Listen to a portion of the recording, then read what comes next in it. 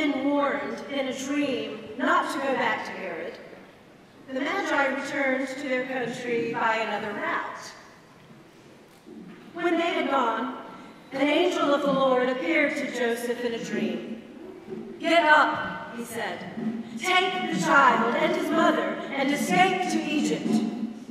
Stay there until I tell you, for Herod is going to search for the child to kill him.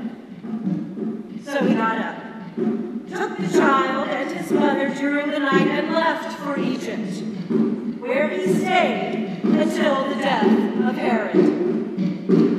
After Herod died, an angel of the Lord appeared in a dream to Joseph in Egypt and said, Get up, take the child and his mother and go to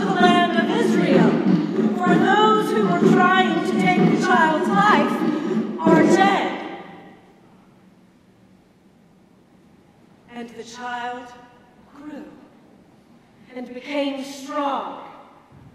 He was filled with wisdom, and the grace of God was upon him.